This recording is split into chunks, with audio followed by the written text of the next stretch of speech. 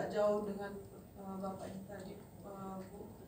Uh, kriteria khusus uh, sampai surat ke kami saya uh, sebenarnya merasa alhamdulillah gitu pak ya. Mungkin saya kirain baru tahun ini mulai padahal udah berakhir ya Pak ya 2019 saya kira ada perlakuan khusus ke depannya gitu Pak. Nanti untuk, ada lagi tapi enggak untuk apa, melihat rumah sakit kami. Ya. terus terang saja Pak kalau mengharapkan dana dari uh, kalau di Aceh ada otsus itu cuma 10% bagi dua dengan dinas kesehatan itu dapatnya lima gitu Pak ya. Untuk uh, kemarin uh, Bu Dona dengan uh, Pak uh, ada kemarin datang ke rumah sakit kami berkonsultasi bagaimana susahnya mendapatkan konsultan di daerah. Itu sangat sulit bu supaya rumah sakit itu gedungnya standar dan sebagainya. Kami akhirnya berinisiatif mengundang eh, dari kementerian untuk mendesain bagaimana sih sebenarnya standar rumah sakit jadi kalau dari lihat dari eh, rumah sakit kami kemarin bu gedung Oka yang sangat eh, sangat sangat miris menurut Kak Dona itu kalau dengan standar eh, mungkin di atas 10 miliar dan untuk 10 miliar itu susah sekali mendapatkannya Bu. Tidak mungkin lah, tidak ada sebenarnya. Kalau nggak tidak mengharapkan dari dana dap. Nah itu salah satu permasalahan kalau kami untuk menstandarkan gedung itu sumber anggaran yang ada di daerah cukup sulit. Kemudian yang kedua, eh, dari pengalaman kita des kemarin dari dana dap Eh, di situ sudah di Krisna sudah ditentukan mana yang di, di disetujui gitu. Sedangkan di di daerah kita kita yang lebih tahu mana yang sangat prioritas. Jadi mungkin tahun 2020 kami mohon ada klarifikasi gitu mana sebenarnya prioritas yang paling eh, dibutuhkan oleh eh, rumah sakit. Karena waktu di uh, dijustifikasi oleh bupati Eh, ya udahlah itu saja katanya. Krisna saja ikuti saja itu. Nggak mau lagi bupati untuk memberikan rekomendasi untuk menjustifikasi apa sebenarnya usulan dari rumah sakit yang sangat prioritas. Kemudian eh, untuk terkait eh, akreditasi bu akreditasi rumah sakit itu gimana untuk tahun 2020 apakah eh, dulu ada ya bu yang dibiayai di dana dan non fisik ada ke rumah sakit?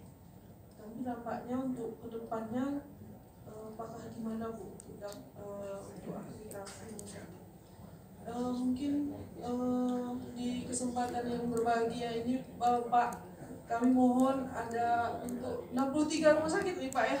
Ada hmm, ada WA untuk kriteria khusus ini karena terus terang saja Pak eh, di daerah itu untuk mendapatkan eh, izin IPAL saja kami udah cari-cari ke mana Pak. Mungkin di antara eh, peserta kita ini bisa share di di grup kita. Siapa yang udah punya izin IPAL? Apa sih persyaratannya? Ke mana harus bertanya dan sebagainya? Karena di daerah lingkungan hidupnya aja nggak tahu pak. Nah, lingkungan hidupnya aja nggak tahu ini gimana ini sebenarnya ke mana jadi mungkin dan ini saya, saya rasa bagus sekali di kriteria khusus ini saya rasa pak. Bisa bisa meningkatkan inilah eh, kualitas pelayanan di di daerah. Karena eh, itulah keadaannya di daerah pak.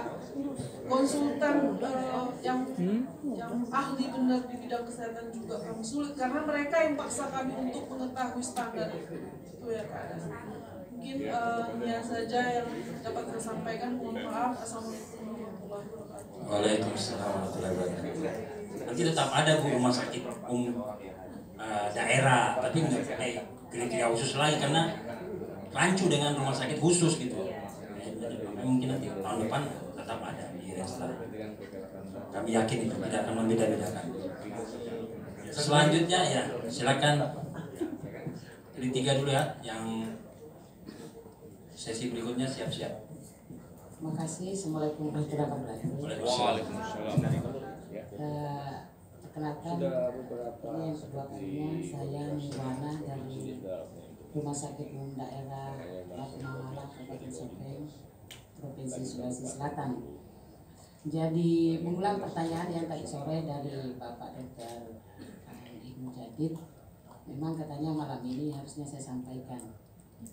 Eh, terkait dengan menu menu yang ada di Krishna dengan keinginan-keinginan atau kebutuhan-kebutuhan kami sebenarnya dari rumah sakit daerah. Uh, sebelum saya bertanya, saya sudah jelaskan juga tadi sore, jadi saya ulang kembali bahwa rumah sakit kami tipe C, satu-satunya yang melayani di daerah itu. Dari segi sarana prasarana, sebenarnya sudah melebihi kriteria tipe C. Misalnya, saya sudah gambarkan juga tadi sore bahwa kami rumah sakit daerah sudah punya pelayanan rawat inap penderita jiwa. Kami punya pelayanan jantung yang menurut uh, lebih lengkap dari PJT Wahidin. Kami punya CT scan dan lain sebagainya. Jadi itulah beberapa kriteria standar yang melebihi. Namun pada kenyataannya setelah kami mengusulkan artinya keadaan ini terjadi karena bukan kesalahan masa lalu tapi kejadian masa lalu kami punya spesialis kulit dua orang, kami punya saraf dua orang, bla bla bla. Itu kan sebenarnya kalau tipe C itu bukan standar, artinya melebihi daripada standar empat besar plus dua penunjang. Nah, untuk menutupi atau untuk melengkapi kebutuhan mereka, tentu kami harus meminta melengkapi sarana dan prasarana untuk pelayanan yang optimal daripada DPJP kami semuanya.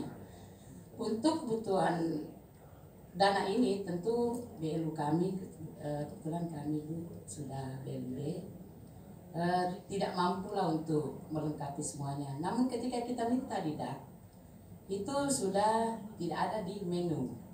Nah kebetulan sekali barangkali momennya tepat mudah-mudahan ada fleksibilitas. Saya tadi minta sama dokter menjadi katanya sebentar malam dia disampaikan. Mumpung belum ditutup menu, bisakah ada fleksibilitas? Apalagi kita ini rumah sakit Apalah artinya sebuah rumah sakit khusus kalau tidak ada khusus buat kami? Mudah-mudahan lah ada fleksibilitas atau adalah khusus-khususnya kita yang datang malam ini. Itu yang pertama. Uh, yang kedua, yang kedua, uh, saya kira pertanyaan teman kita tadi dari Buton itu mewakili pertanyaan dari semua teman-teman yang ada malam ini Bu. Bahwa trik saya sih bukan trik saya hanya mau bertanya Bu. Tadi saya bisa menangkap dari pemaparan Ibu bahwa DAK itu dinilai pada pelaksanaan tahun ini untuk tahun berikutnya. Saya jujur saja Bu di e-planning kami yang saya masukkan di Krishna itu sama tiga tiga itu saya sama. Saya mengusulkan 101 miliar.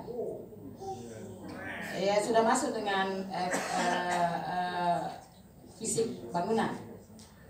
Eh, yang di sebelah tadi masih mending setengah. Saya cuma dikasih 4, eh, 5 miliar. Alhamdulillah terima kasih Bu sudah diberikan Cuma pertanyaan saya adalah ketika kita dinilai dalam penggunaan dana DAP itu saya jujur saja, seandainya ada 5 miliar, 100 miliar pun saya mampu menghabiskan. Apalagi 5 miliar. Apakah ini bukan menjadi kriteria pertimbangan di atas bahwa ini orang kasih yang betul-betul butuh. Akhirnya kalau 5 miliar dikasih naiklah 10, 20, 30. Artinya kita betul-betul memanfaatkan. Saya malah melihat tadi pemarah pertama ada yang tidak sampai uh, direncanakan sekian terrealisasi hanya 80%. Berarti ada lebih 10% yang tidak terpakai. Di sisi lain, kami ini sangat butuh. Di mana anunya? Di mana di mana sebenarnya uh, di mana itu barang kenapa bisa begitu sementara kami butuh kok ada uang yang tersisa seperti itu jadi sudilah kiranya yang khusus-khusus malam ini uh, paling tidak paling tidak bu apa uh, bahwa melalui grup WA mudah-mudahan ada grup WA nanti kita bisa lebih lebih dekat lagi lebih dekat lagi untuk share-share dana dan pengalaman, pengalaman tentu pengalaman dari teman semua. Bisa saya sampaikan lebih dan kurangnya semua. Terima kasih. Assalamualaikum warahmatullahi wabarakatuh. minimal karena infrastruktur kita sudah bisa dikeluarkan sama ibu ini dia sudah berbuat Terima kasih eh, tiga penanya Pak Fre- Frederick dari RSU Buton Selatan, kemudian Bu Irma dari Bedah Meriah, Aceh, kemudian Bu Irwana dari Copeng. Eh, mungkin ada Baik, eh, terima kasih atas pertanyaannya Bu, eh, Bapak, Ibu semuanya. Saya rasa pertanyaannya semuanya sama ya. Eh, pada prinsipnya adalah bagaimana caranya supaya eh, DAP yang diusulkan oleh Bapak Ibu semua bisa terakomodir terakomodir ya baik saya coba menjawab bapak ibu semua. Jadi sebenarnya eh, betul eh, Bu Nirwana tadi sampaikan bahwa memang evaluasi menjadi eh, apa namanya pertimbangan salah satu pertimbangan. Kedua eh, proses pelaksanaannya ya. Eh, kemudian proses pengusulan dokumen melalui aplikasi Krisna itu menjadi pertimbangan gitu ya. Kemudian yang terakhir adalah nanti penentuannya di Kemenq Bapak Ibu semua, bukan di kami ya. Kami memang mengusulkan dari menu ya bahwa menu DAK yang kita susun ini adalah merupakan kebutuhan usulan kebutuhan dari Bapak Ibu semua dari unit dari eh, satker ya yang eh, itu memang eh, apa namanya sudah seperti itu eh, ininya pathway-nya ya eh, jalurnya. Nah kemudian eh, mungkin eh, selain itu Pak Frederick tipsnya mungkin kalau boleh kita banyak-banyak berdoa Pak. Mudah-mudahan usulan kita bisa diakomodir ya gitu. Eh, eh, jadi eh, karena memang eh, mungkin ya eh, di pusat dari berapa kabupaten kita ya banyak sekali kan ya di ini yang semua harus diakomodir sedangkan pundi-pundi keuangan kita tuh cuma segitu-gitu aja gitu ya jadi ya memang akhirnya banyak berdoa Sup- ya gimana pak Kabupaten tetangga sebelah saya dapat 30 M, Bu. Saya cuma dapat 2,3. Iya. Iya. Nah, itu nanti prosesnya sebenarnya di Kemenq, Pak. Ya.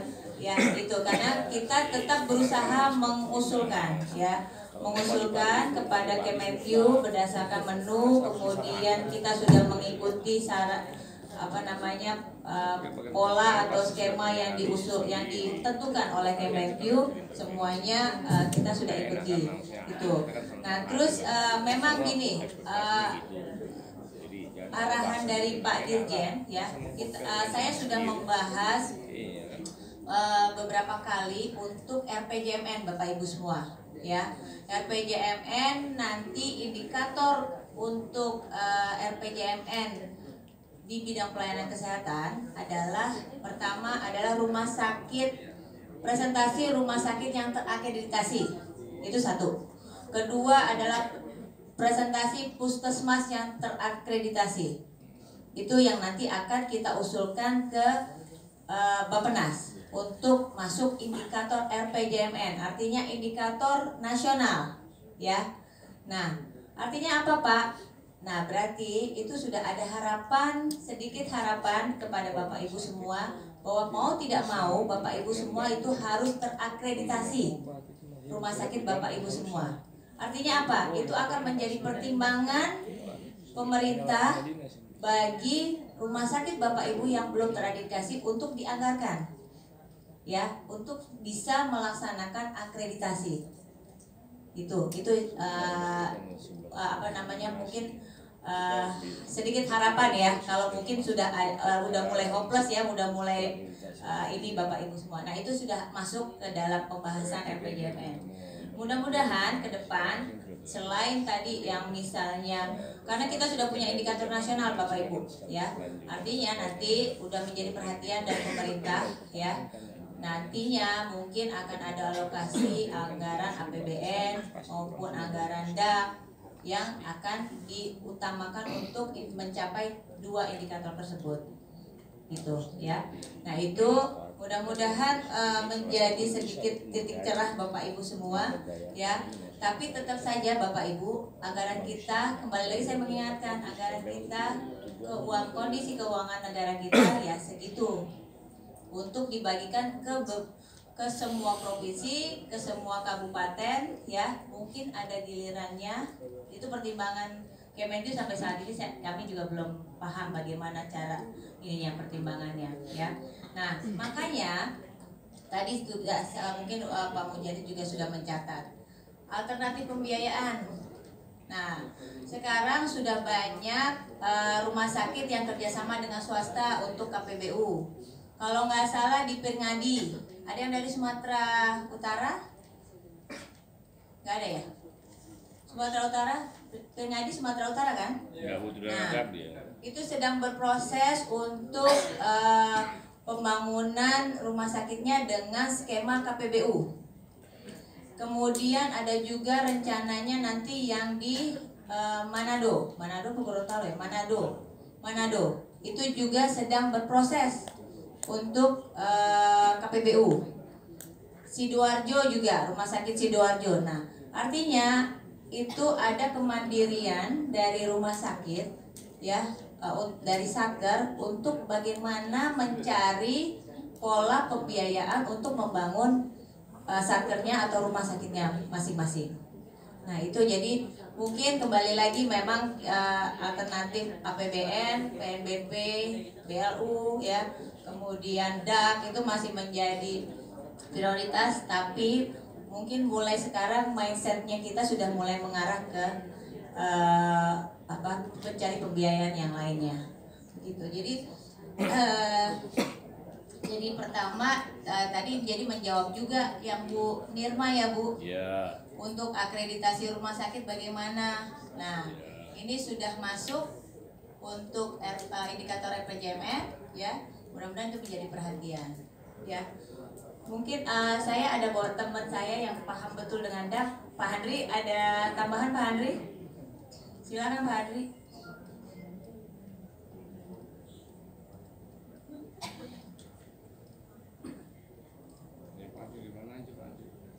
Yang triknya Pak Handri karena dia yang selama ini ngedes untuk DAP dan sebagainya.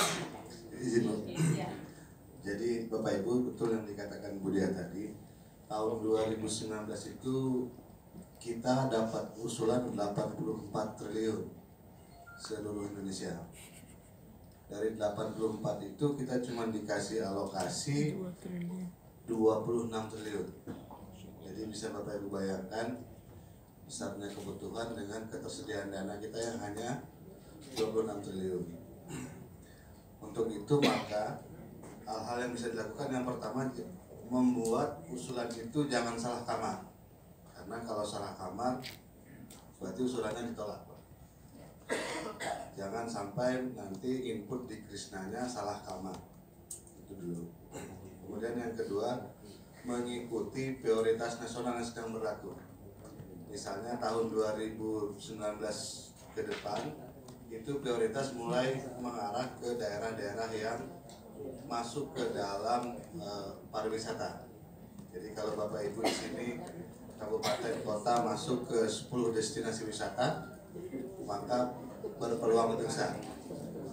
Kemudian yang ketiga eh, tetap masih eh, daerah DTPK terpencil, kepulauan, terlalu terluar, terlalu terlalu dan ter- ter- perbatasan itu juga masih prioritas.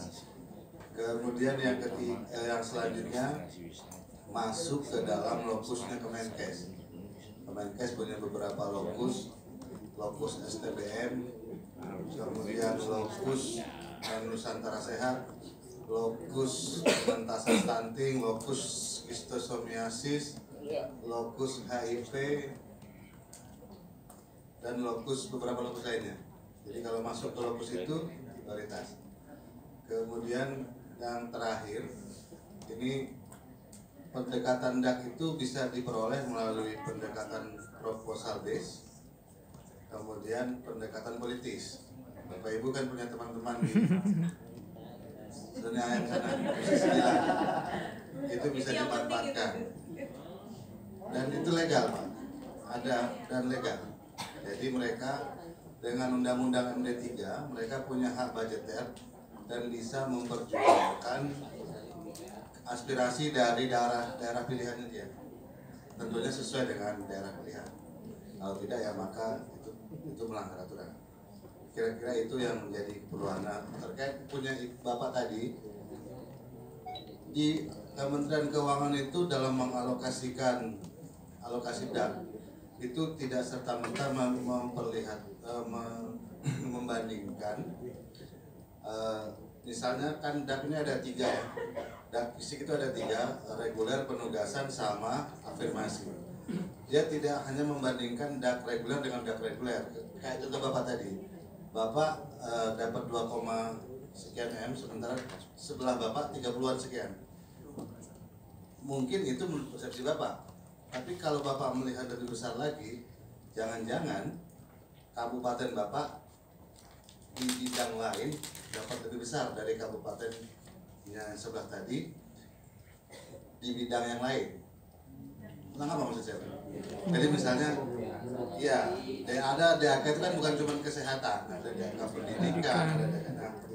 Kementerian Keuangan itu dalam memproporsikan itu memperhitungkan itu juga. Itu yang namanya mereka sebut smoothing. Jadi pengalokasian itu eh, juga melihat dak-dak yang lain dan itu hampir semuanya sih balance lah. Jadi nggak ada yang lebih besar, nggak ada yang kecuali tadi beberapa provinsi DIY, Aceh sama Papua yang punya otsus. Jadi saat misalnya bapak dapat dua setengah, coba tanya rujukannya yang penugasan dapat berapa, formasinya berapa. Kalau masih kecil juga, coba tanya bidang lainnya. Jangan-jangan besar. Jangan-jangan di bapak PU-nya besar, kabupaten sebelah, kesehatannya. Dan tapi itu kan bergilir terus. Artinya tiga tahun ini bapak besar, tahun depan nggak mungkin besar lagi kan karena itu. Fokusnya pada berkaitan terus. Jadi sebenarnya kalau sekarang dapat kecil ya mudah-mudahan tahun depan dapat besar gitu selama kriteria berkurang saya kira itu Jadi udah jelas ya Pak. Tadi ada yang digaris bawahi prioritas nasional, lokusnya masuk lokus. eh, nah, mungkin terkait lokus, eh, kita kan punya lokus pengentasan stunting. Nah, kalau rumah sakit Bapak Ibu punya unggulan terkait dengan pengentasan stunting, nah itu bisa jadi pertimbangan, ya. Dan jadi mungkin di justifikasinya nanti bisa Bapak Bapak Ibu masukkan seperti itu. Terus ada juga yang masuk RPJMN tuh eh, ODGJ ya. Kalau tadi ada rumah sakit jiwa punya punya unggulan untuk kesehatan jiwanya, silakan. Mungkin dengan itu bisa menjadi pertimbangan dari Kemenkyu untuk eh, bisa menambahkan anggaran daknya untuk Bapak Ibu semua. Itu tambahan. Saya bisa sedikit. Kasih Bu Dia. Saya pikir udah lengkap. Saya sedikit dulu. Eh, harus pertanyaannya di luar yang tadi udah dijawab semua. Kayaknya saya tadi udah lengkap ini ya. Iya, iya. Jadi jangan sama lagi. Saya sedikit dulu. Bisa. Satu, singkat Pak, singkat to the point langsung ya. Ya. Satu, dua, karena ada pembicara lainnya. Tiga, oke tiga, sudah cukup ya. Udah Pak. Ya, makasih. Tadi saya udah bilang siap-siap yang sesi kedua. Makasih Bu De. Assalamualaikum warahmatullahi wabarakatuh. Singkat dan padat. Eh, sebenarnya ada kaitan, cuman saya terus terang saja pola pemikiran perencanaan berbasis button up itu semoga tidak terjadi di kementerian. Dalam artian gini, akreditasi sangat penting. Tetapi yang kita eh, pikirkan selalu bagaimana men- menlegitimasi semua rumah sakit bisa terakreditasi. Tetapi apakah kita pernah berpikirkan bahwa resources yang dimiliki oleh rumah sakit sudah terpenuhi tidak? Ini persoalan. Nah, kenapa kalau kalau memang dipikirkan tidak dikorelasikan dengan penggunaan penggunaan dalam menudak itu salah satu eh, pemenuhan eh, ketenagaan sesuai standar Permenkes 56. Ke depan saya berharap eh, ketika telah direvisi seharusnya rumah sakit itu tipe apa pun sudah harus terstandar dengan resources yang ada. Itu dulu yang kita harus pertimbangkan. Itu yang pertama. Yang kedua, saya berharap begini loh. Ada beberapa regulasi ketika kita sandingkan, kenapa tidak menjadi pertimbangan? RPJM itu kan biasanya ketika dia turun di kabupaten provinsi menjadi renstra. Karena OPD sekarang tidak punya visi misi loh, ya kan? Dalam renstra itu kita pastinya mengevaluasi eh, evaluasi eh, ika- indikator kinerja kunci. Biasanya regulasi yang kita sandingkan adalah Permen eh, Permendagri 86 dengan Permenkes nomor 4 2019 yang terkait indikator SPM. Dalam hal ini, ketika OPD memang mau terintegrasi antara dinas kesehatan dengan rumah sakit, rumah sakit dirangkul lah. Kelihatan di kabupaten kota itu eh, seakan-akan rumah sakit terpisahkan dengan rumah sakit. Akhirnya tujuan daripada RPJM jauh dari ekspektasi yang kita harapkan. Ini yang menjadi pertimbangan. Terus saya sebenarnya tadi ketika Bapak menjelaskan persoalan bahwa ini loh skala prioritas dan ada saya kayak gimana miris rasanya kenapa kok kita berpikir bahwa destinasi wisata yang kita eh, utamakan kemarin program inovasi saya bukan menentang tetapi saya berpikir gini kenapa negara selalu mau berpikir inovasi dan destinasi wisata sementara program standar belum terpenuhi? Itu dulu yang menjadi PR kita sebenarnya. Saya berharap setelah program standar di seluruh kabupaten kolom menjadi skala prioritas kita kan punya perencanaan jangka panjang. Baiknya kabupaten ini mendapat sekian tri- eh, miliar Ya mungkin skala prioritas beberapa tahun ke depan kabupaten lain yang mendapatkan agar semua program eh, standar itu terpenuhi secara komprehensif. Itu dulu tiga aja. Singkat dan padat. Makasih. Kurang lebihnya nanti kita nelpon bu ya. Terima kasih. Terima kasih. Eh, yang di belakang.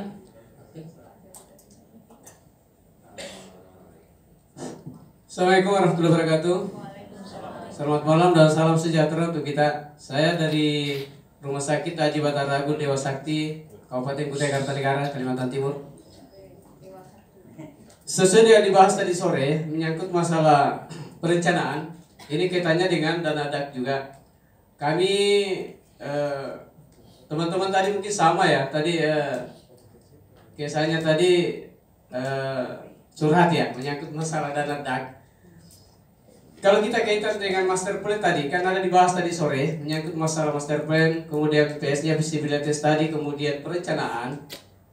Jadi yang jadi masalah pada saat kami di rumah sakit sudah merencanakan eh, master plan sudah ada, visibilitas tadi sudah ada, perencanaan sudah ada. Pada saat kita ngajukan anggaran, yang masuk di Krisna, eh, standar rumah sakit kan sudah diatur dalam Undang-Undang nomor 24 ya, eh, 2018 Contohnya kami kemarin di da kegiatan eh, IGD, pembangunan IGD. Awalnya kami usulkan 15 miliar. Kemudian Des dapat 10. Terakhirnya tinggal 6 miliar. Sehingga perencanaan yang ada itu setengah mati kita menyesuaikan. Sehingga dibangunlah IGD dengan standar minimalis. Nah ini, ini ini ini kejadian terjadi karena mau diapakan dana sudah keluar 6 miliar, sementara master plan perencanaannya sekitar 15 miliar, apa yang mau dilakukan? Sementara Pemda tidak punya dana lagi untuk membantu. Dan itu tidak mungkin ada dana seri karena ini sudah keluar dana eh, perencanaannya. Nah, ini ini masalah. Sehingga gimana ya ke depannya?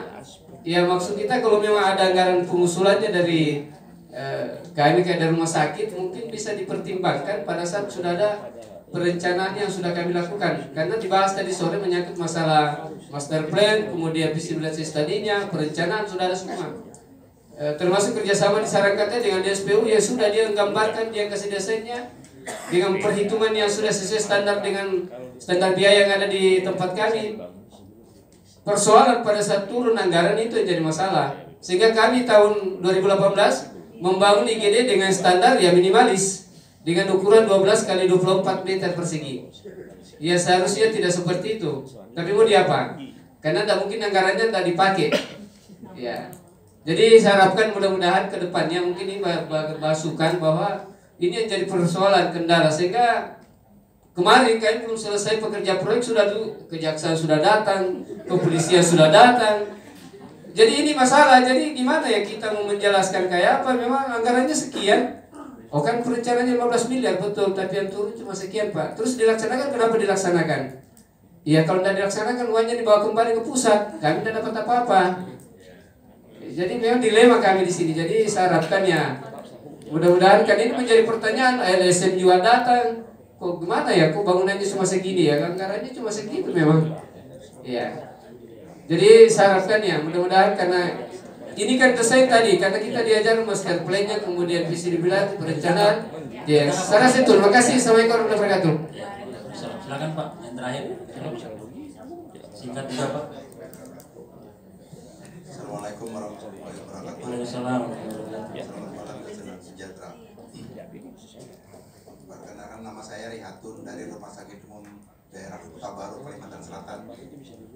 Pada kesempatan ini saya ingin menanyakan uh, tentang status rumah sakit kami kan rujukan regional, Pak. Rujukan, iya, rujukan regional pada waktu dulu dengan spesialisasi ada tiga, uh, 13, 4 dasar, 3 penunjang dan 6 pilihan.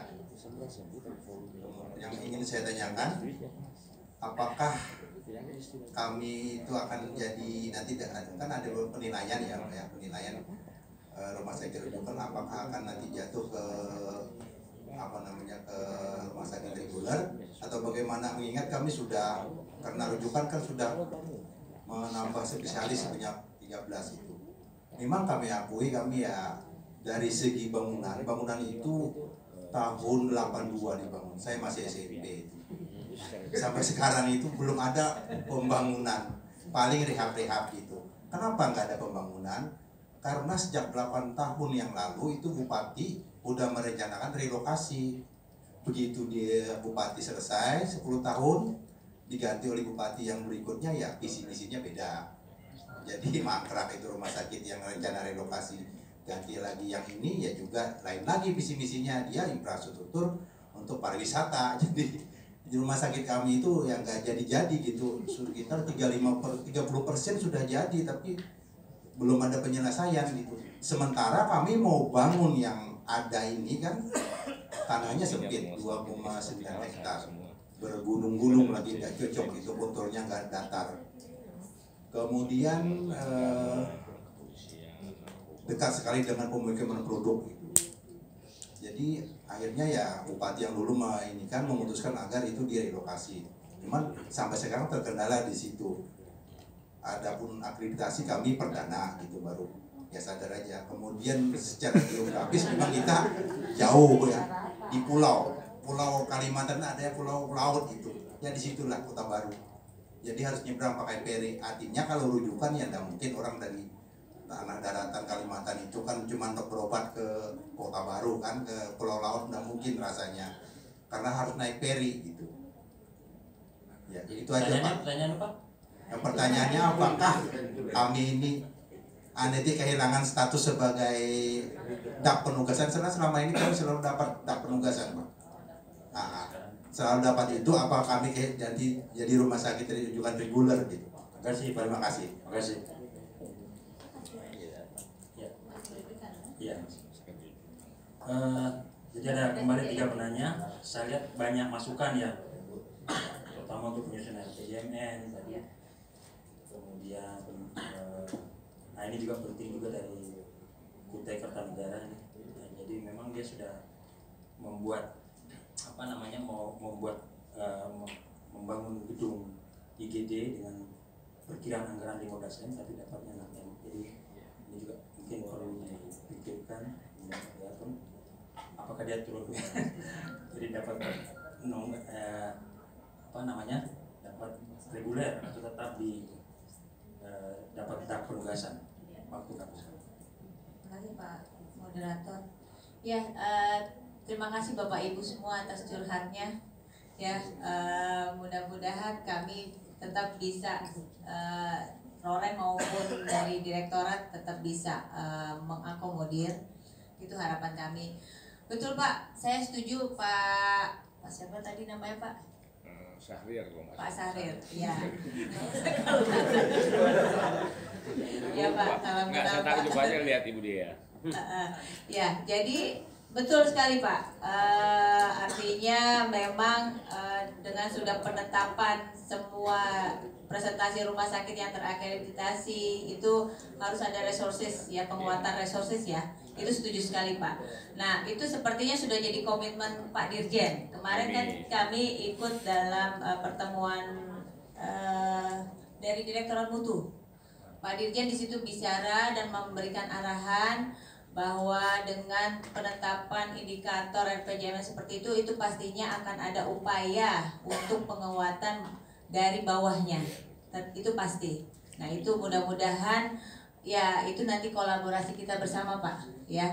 Artinya pusat membuatkan kebijakan bagaimana perencanaan penganggarannya nanti di daerah juga seperti itu bisa mem- artinya bersambung lah nyambung Uh, jadi uh, termasuk terhadap regulasi-regulasi tadi kan arahan dari uh, Pak Presiden juga regulasi yang menghambat ya sudah harus kita pangkas ya supaya ini mempercepat proses pembangunan dan itu di diikuti oleh uh, Bu Menteri. Jadi semua sekarang regulasi dipercepat. Kalau memang tidak pantas lagi semua di direvisi dan sebagainya. Uh, jadi setuju sekali Pak. Mudah-mudahan ke depan bisa lebih baik ya kita kolaborasi. Nah kemudian yang dari, nah baik itu dari Bu Rumah Sakit Dewa Sakti ya, ya Bu ya. Hah? Oh Pak Burhani, ya Pak Burhani, ya. Jadi uh, terima kasih curhatnya Pak. Jadi kalau misalnya seperti tadi kita sudah sampaikan ya Pak, semua Kemenq yang menginikan ya. Walaupun kita sudah upayakan uh, stand, apa namanya dokumen dan sebagainya sudah lengkap ya. Makanya tadi saya